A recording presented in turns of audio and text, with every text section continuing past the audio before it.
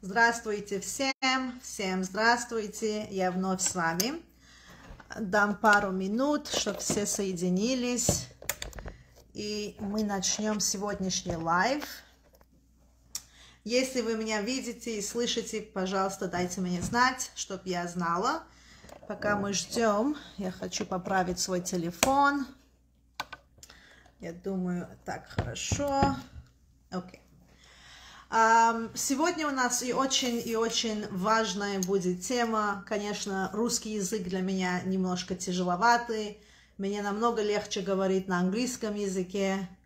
Но так как эта тема очень и очень трогательная тема, и эта тема будет относиться к родителям сегодня, я думаю, что многие родители тяжело им понимать английский язык, поэтому я буду стараться с вашей помощью, с Бога помощью, конечно, говорить на русском языке.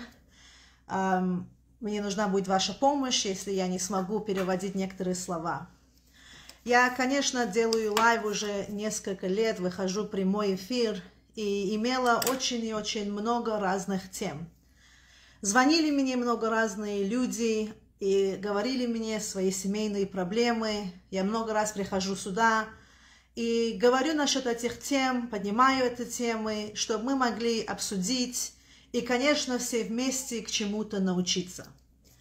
Но сегодняшняя тема, я должна сказать откровенно, что сегодняшняя тема до такой степени меня затронула, что не могу сказать, что я, не, может быть, даже заплачу во время прямой эфир.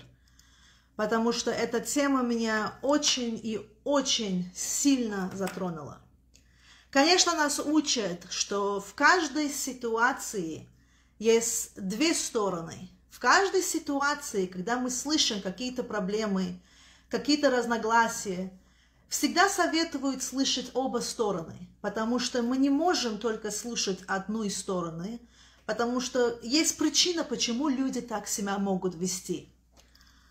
Но когда я вам расскажу историю, которую мне рассказала эта молодая женщина сегодня, я не могла, не могла просто подумать и сказать, что может быть такое – какая может быть вторая сторона, какое у них, какая у них причина на такое, я просто не могу. Вот как, я, как бы я ни думала и сказала бы, есть две стороны, но с этим смириться я бы не смогла бы. И я надеюсь, что сегодняшний прямой эфир дойдет до тех родителей, которые должны услышать эту лекцию. И не только до этих родителей, я надеюсь, что те дети, которые тоже причиняют боль своим родителям, если даже, конечно, нечаянно или специально, у всех есть свои ситуации. Сегодня мы будем говорить про ситуацию от детей и родителей, а есть ситуации, когда дети тоже обижают родителей. Есть две стороны. Я знаю, что все вы ждете узнать нашу историю. И я начну говорить так. Несколько недель назад ко мне пришло сообщение. Одна женщина со мной связалась и сказала, мне нужна твоя помощь. Я знаю, что твои видео смотрят много людей, и я надеюсь, что мои родители тоже увидят твое видео, и, может быть, ты можешь дать мой крик души этим родителям моим. Прошло время, я не могла с ней связаться. И сегодня я наконец-то с ней связалась. Буквально после 10 минут моего разговора у меня просто сердце так сильно затронулось, что я уже больше говорить не смогла, и попросила у этой женщины, чтобы она просто мне написала письмо. И я это письмо вам сейчас почитаю. И надеюсь, что как-то это видео дойдет до ее родителя. Она мне сказала, я хочу, во-первых, тебе сказать, Йохевед, что я очень люблю своих родителей. Я очень горжусь ими, и Бог меня наградил с хорошими братьями и сестрами. Но, к сожалению, я тебе хочу сказать, что я не разговариваю с моими родителями уже больше 20 лет. У меня родились пятеро детей. И я тебе хочу сказать, что мои родители не видели моих детей, не знают даже, как они выглядят по-настоящему. Они видели только их фотографии, видео, которые родственники им посылали. Но они не видели вживую моих детей. Я живу в другом штате, я переехала, и я смирилась, как-то смирилась с тем, что мои родители не хотят со мной говорить. Но, говорит, я не могу смириться с тем, что мои дети не могут видеть бабушку и дедушку что мои дети растут и стают большими, и скоро их надо будет замуж отдавать и женить, но они не знают бабушку и дедушку с моей стороны. Я спросила у нее, почему твои родители так сильно на тебя обижены? Что стало? Что ты могла так сильно сделать, что так сильно они на тебя могли обидеться? Она мне сказала коротко, но сперва сказала, ничего такого плохого я не сделала. Я сказала, просто скажи мне немножко, почему они на тебя обиделись. Она говорит, когда я была молодая, для меня самое важное в жизни было найти мужа, который будет меня ценить, любить, уважать. Не было у меня такого менталитета, чтобы мой муж был богатый, чтобы у меня был большой дом, чтобы я жила в роскошном таком мире. Я, я такая, я не такая, я простая. Я влюбилась в моего мужа. я хотела выйти за него замуж. Моя мама мне сказала, доченька, не выходи замуж за него. Если ты выйдешь за него замуж, у тебя будет тяжелая жизнь. Ты найдешь себе еще лучшего мужа, попадешь в богатую семью, где тебе будет легче. Зачем ты будешь себя мучить всю жизнь? Я не послушалась маму. Я сказала маме, мама, мне не надо богатства, мне не нужен большой дом. Я готова выйти за моего мужа замуж, потому что я люблю именно его. Я спросила у этой девочки и сказала, твой муж бухарский, он еврей? Она сказала, да, сто процентов. Я сказала, а что стало потом?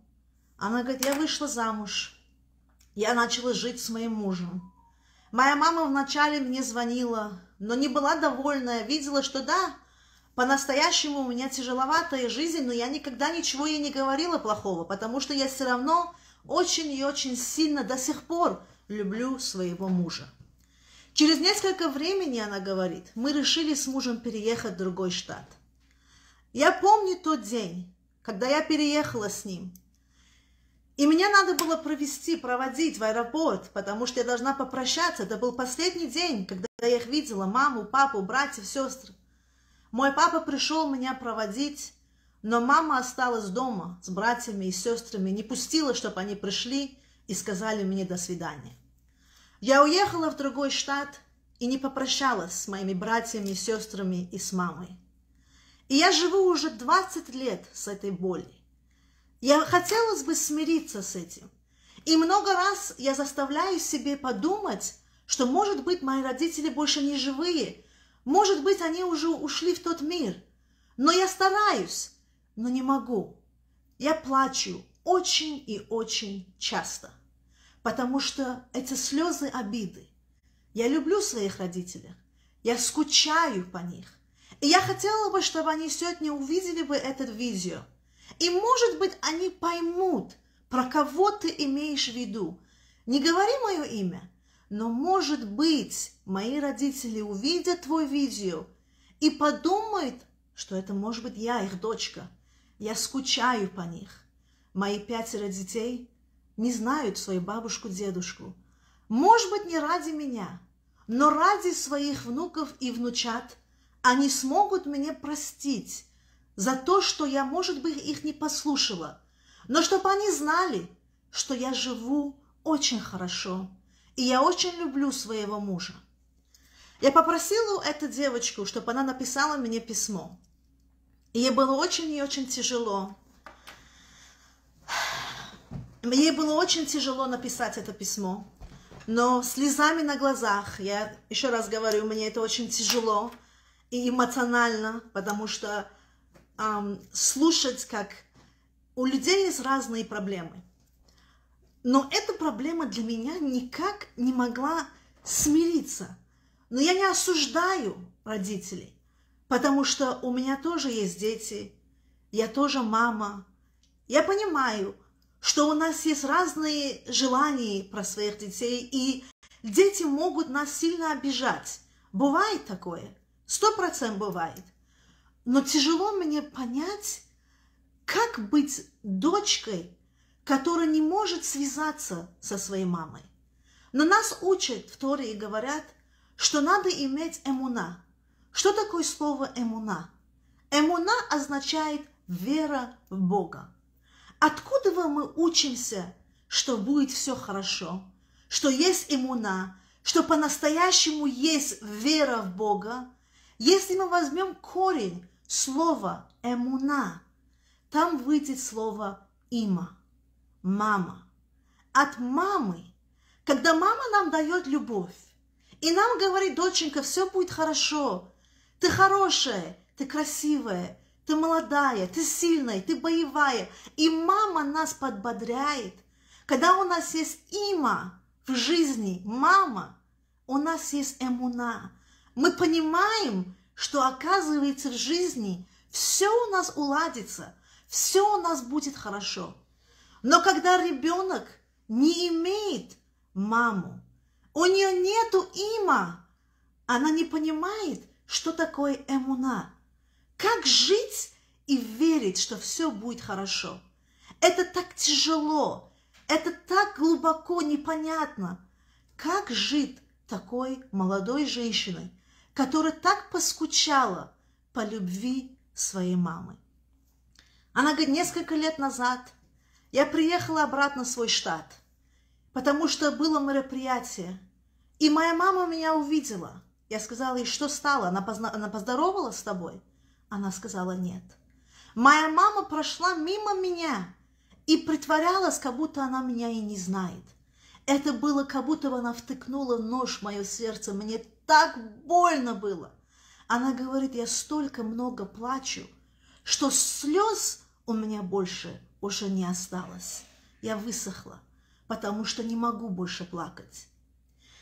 Сейчас я вам почитаю письмо.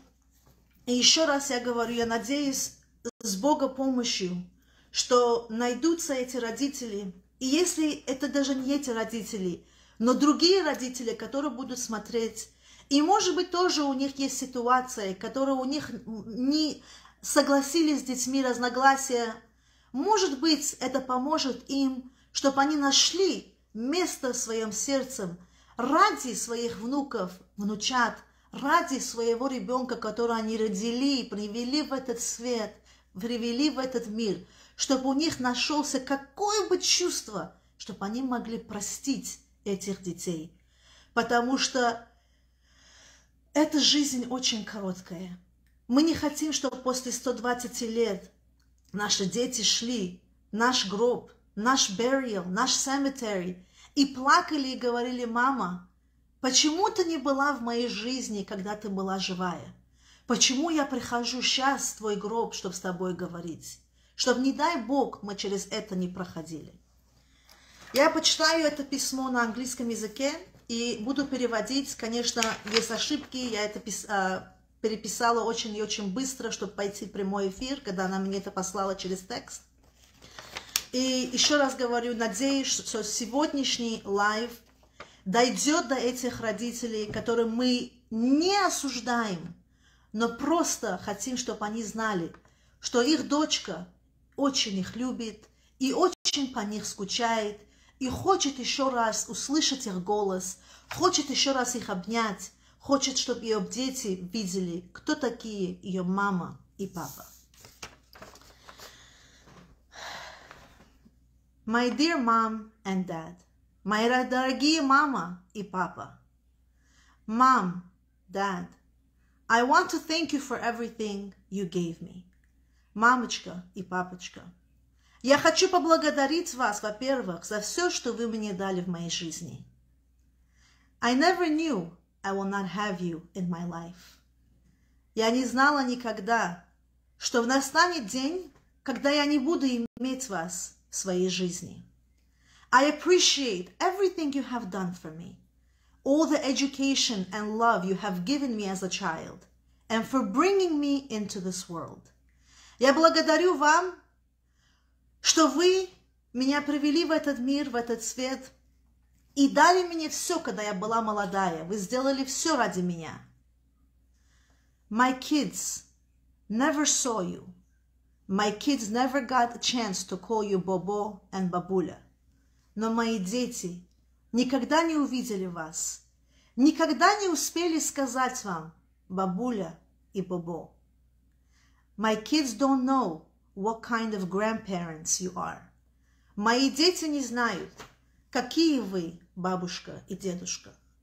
Being married is a challenge, but not having my parents inside kills me every day. Замуж выходить, да, тяжелая вещь. Быть женатым, быть замужем имеет свои тяжести. Но самая тяжелая вещь в жизни – это знать, что нет у меня моих родителей рядом. И каждый день это у меня убивает. All those birthdays that you missed, the Brit Milah of my sons, the graduations that you missed, by anniversaries, 20 long years have passed. Все, что мы пропустили за этих 20 лет, мы пропустили день рождения, бритмила, anniversary, 20 лет прошло. People have always told me, where are your parents? Why don't they come? Люди у меня всегда спрашивают, где твои родители? Почему их нету никогда на твоих мероприятиях? And they would always tell me, it's okay, don't worry, you have your own kids, you get used to it.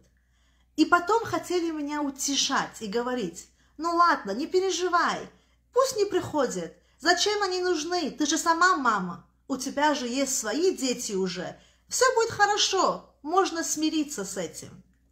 I would always have a hard time answering them, knowing how badly I miss you inside. И эти слова утешения меня не успокаивали, потому что мне внутри было больно. Я хотела видеть вас рядом со мной. I need you in my life. Я должна иметь вас в своей жизни. I want to share my birth story with you. Она рассказывает своей маме и говорит, я хочу с тобой поделиться, как у меня прошли роды. У нее пятеро детей. I remember with one of the children, I went to the hospital at 3 o'clock in the morning and I had contractions. Я помню, как я пошла в больницу в 3 часа утра, и у меня были схватки. I needed my mom so badly, but I had nobody next to me besides my husband. И в то время, когда у меня была эта тяжесть, эта боль, я так нуждалась маме. Но не было рядом со мной моя мама был рядом со мной мой муж. And I remember the pain I had inside, and my husband knew I needed some sort of a support. И мой муж видел, как больно мне было внутри. Он знал, что мне нужна какая-то материнская боль. So my husband offered to call his cousin to be with me during the labor and delivery. И мой муж сказал, да, я позвоню моей двоюродной, Она придет, и она будет рядом с тобой. Тебе нужна женщина, я не могу тебе помочь. I remember when his family member came next to me, and I was in so much pain. The family member looked in my eyes and told me, Today, I will be your mother. You can do anything you want to me. I know you're in pain. If you want to squeeze my hands, if you want to punch me in my face, whatever you want to do from the pain that you're in, I am your mother. Do whatever you need to do. I'm here for you. И его двоюродная сестра мне сказала, сегодня я замещаю тебе маму. Я знаю, у тебя боль. Я знаю, что тебе тяжело, у тебя сейчас схватки. И я знаю, что хуже этого тебе тяжело, что нет мамы рядом с тобой. Я сегодня твоя мама. Хочешь меня избивай, хочешь меня пинай, я возьму эту боль ради тебя, потому что тебе сегодня очень больно. Я твоя мама сегодня. 15 years have passed since that story. 15 лет прошло с того дня. Baruch Hashem, my kids and husband are great. Я хочу сказать слава Богу, что мои дети и мой муж, они очень хорошие люди. And yes, I am blessed. И я очень благодаря Богу, Бог меня благословил. But I have no more tears left. I miss you, my parents. Но нет больше слез, потому что я скучаю по вас, мои родители. I want to say thank you to you, Yocheved, for sharing my story. Я хочу сказать спасибо тебе, Yocheved, что ты пойдешь и расскажешь мою историю. For my parent, for parents who are listening, те родители, которые сегодня слушают это видео, talk to your children. Говорите своими детьми. You have a precious gift. Бог вам дал очень хороший подарок. Don't lose it. Не теряйте их. Maybe your children are not perfect. Maybe they get you upset. But at the end of the day, they are your treasure. Может быть, ваши дети не то, что вы хотели, в конце дня, но это ваша драгоценность. To my dad and mom, if you hear this letter, мама, папа, если вы услышите это письмо, remember one thing, запомните, I love you. Я вас очень люблю. Please come back to me. Please be a part of my life. Пожалуйста, вернитесь ко мне. Я хочу увидеть вас в моей жизни. I miss you very much. Я очень по вас скучаю. Тяжело читать такие письма, и не плакать, потому что не могу осуждать, не могу осуждать. Не могу сказать, что виноваты только родители, не могу. Но могу сказать одну вещь.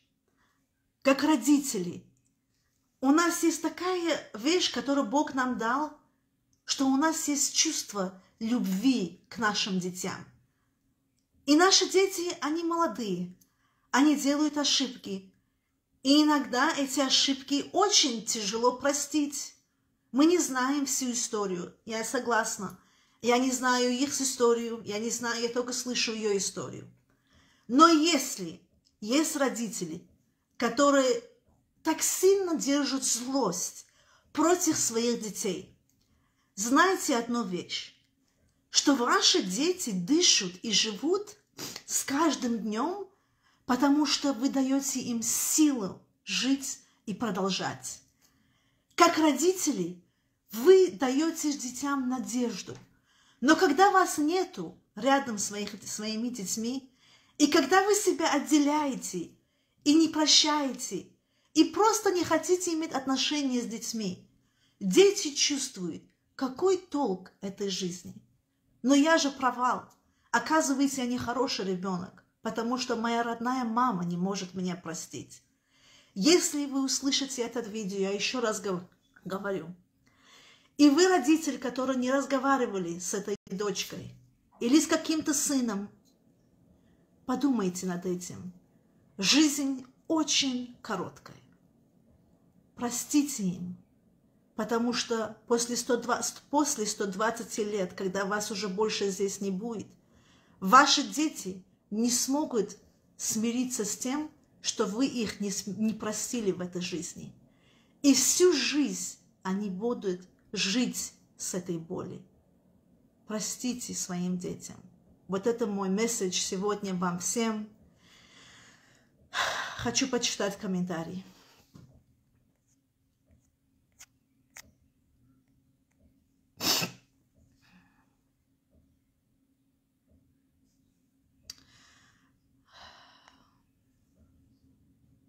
Edward, I read your comment um, where she has to come to terms with the fact that her parents will not be a part of her life. You know, I understand what you mean. I understand what you're saying. But at the same time, 20 years is a long time. And every year that passes, every birthday that you know you missed for your own birthday, for your parents' birthday, your father turned 50, 60, 70, 65, 85. It's so hard and difficult to sit at home and think it's okay. I have to move on. I have to accept the fact that my parents and I don't talk. It's very hard to ever accept that because the pain is so difficult and only somebody who's been through that can understand and say it's almost impossible to come with such terms. Because we as children we want a blessing from our parents. And this is like a curse.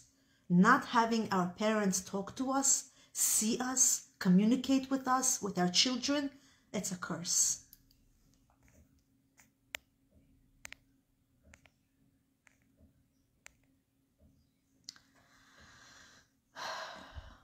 Рошель Ягудаев, если сам Всевышний может нас простить за все наши грехи и ошибки, то почему не простят свои, своему, почему не простить своему ребенку? Я не понимаю таких людей. Вот это тоже мой вопрос. Точно мой вопрос.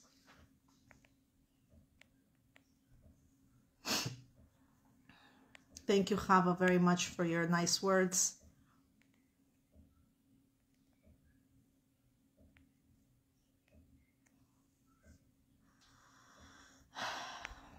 It's... I'm speechless too, Sergey. I'm speechless too. Margarita, I don't know what I would do without my parents. They are everything. And this is exactly why I'm crying. I can't even do this live without tearing and getting emotional because I can't imagine when I got that phone call today. Like I said, I get many phone calls, many phone calls, and many times I cannot help. I defer them to rabbis, therapists, psychologists, and sometimes if I could help, I do my own coaching. But this really touched my heart. After talking to this girl for five minutes, all I could say is, just give me a letter of, from your heart, which I'm going to read tonight. I couldn't do anything else. I couldn't concentrate. I couldn't focus. I was just so engulfed and said, what would I have done if my parents were not a part of my life? The fact that even today, I called my mom a few times. I called my dad a few times. I was able to share with them what my challenges were, what happened at work, what's going on. And it's like this relief we feel when we talk to our parents and to know that this poor girl, her parents are alive and she can't talk to them. She can't pick up the phone and say, Mom, Dad, I love you. Let me show you my kid's graduation. My son is going to have a bar mitzvah. Let me show you what my daughter is looking like. She's already, I don't know, 17, 18 years old. How hard it must be for her. My heart is breaking for her and anybody else who's going through this terrible situation. And we should really, really, really find it in our hearts to forgive and make peace. Romina, my mom abandoned me too, my whole family. I, I feel so sorry to hear that. It, it must be so difficult even watching this video for you right now because you can definitely connect to this. So I have no one to talk to. Romina, you can always talk to me. Please feel free to reach out at any time, my dear. I am here for you if you ever want to talk to me. There are so many people watching, and I'm sure this is not a very uncommon situation. I'm sure this is more common than we can even imagine. And many people are so embarrassed of it, so embarrassed that they hold it inside because they can't tell the world. Do you know that my own mom doesn't talk to me for, for 20 years? Do you know my dad hasn't seen my kids since they were born? I have five kids. How do you say that? It's embarrassing. It's so humiliating. So people have to walk around with this in their chest. And that's what makes it even harder. When you go to a family event and you see all your husband's family there, but your own family is not there to support you, it's the worst feeling ever. So I really pray to God, I'm going to end my life over here, that you will share this video with others and hopefully we are going to conquer this story.